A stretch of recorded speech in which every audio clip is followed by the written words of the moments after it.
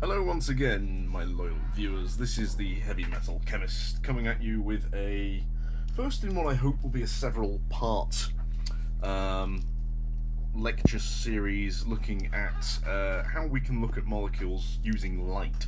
Now, I did an overview of this several months back. Uh, I'm going to focus today on X-rays, which are quite an interesting thing. Uh, and I'm going to start by looking at a technique called X-ray diffraction which is useful for being able to determine the crystal structure of a molecule. Now, in essence, this uh, starts off with a special machine called a diffractometer. Uh, and basically what this is, we have an X-ray source there. We have our sample, and then we have a detector. Now, these things are kind of mounted on a little arm type device and the angle between the two is always the same. We'll call this angle theta and you'll see why it's called this later. Now the sample is mounted on a flat plate which is spinning and the other reason for this, it, it's a complicated reason why you spin the sample but I'll, I'll get around to that eventually. So basically we generate x-rays uh, basically by having a, a, metal, usually either copper or molybdenum. Uh, these are then have a very very high voltage pass through them. They're kept cool underwater and they generate X-rays, usually a very specific wavelength. This is important because you need that specific wavelength in order to be able to do the analysis properly. Again, we'll come to this in a minute.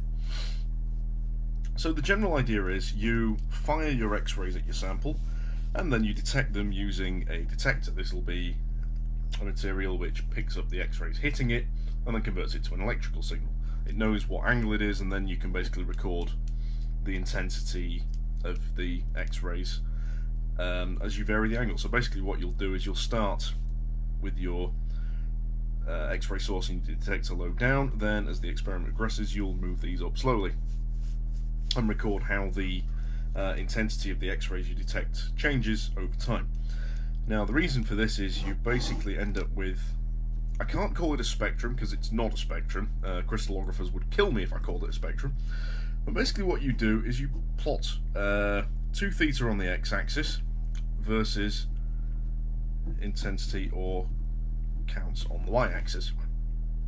And typically you'd start at maybe 5 degrees 2 theta, so this angle would be 2.5 degrees and go up to 80. Uh, that depends on what your radiation source is because that changes what this graph slash spectrum is going to give you, as much as I hate to call it a spectrum. Now basically what you'll see typically is a background line and then occasionally you'll get random peaks like this appearing. Well, they're not random peaks, there is a very good reason they exist. Like so. Uh, these correspond to certain reflections within your crystal. Uh, you typically use a powder for this, so it'll be a, a, kind of packed bed of crystals level with the top of the sample holder. That's important because otherwise it mucks your results up.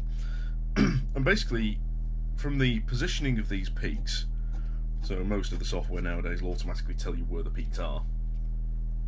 Uh, and to a degree, the width of the peaks and the ratios in height of the peaks you can tell what your compound is because I'm applying this mostly to inorganic compounds because every inorganic compound that's crystalline has a defined crystal structure.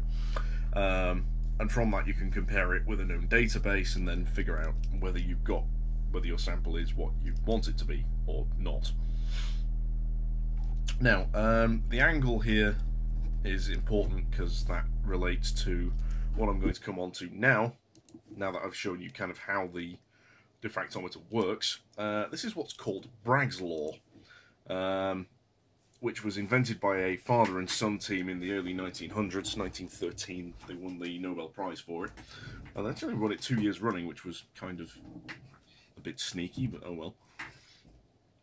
Anyway, the general principle is if you've got a crystal with like layers or atoms in it, when your X-rays can come in, they'll all bounce off um, the effectively like planes in your crystal. So that'll be one plane, that'll be another plane, that'll be another plane, and so on.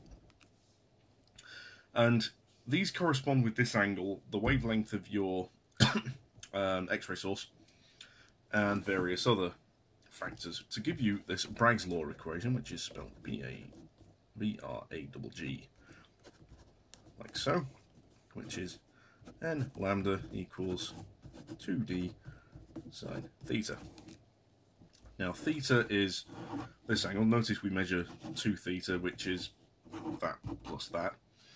Uh, so you take the sine of that angle. Uh, d is the distance between the two, um, basically between the, the, crystal atoms in the crystal, uh, normally measured in, I think it's angstroms, or it could be nanometers.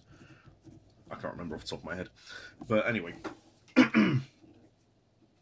that is the uh, that's the the difference of the distance between the crystals.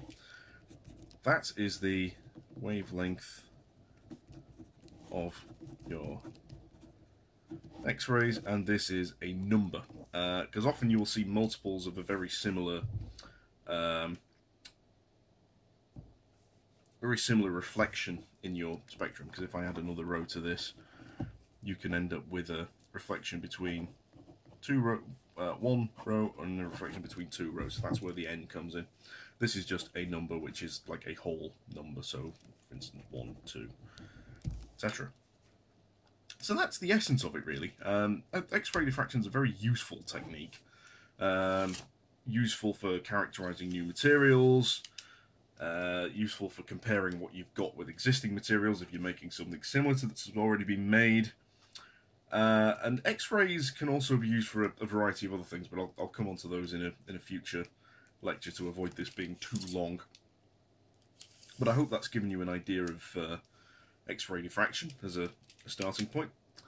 And uh, if you have any questions, do comment or message me.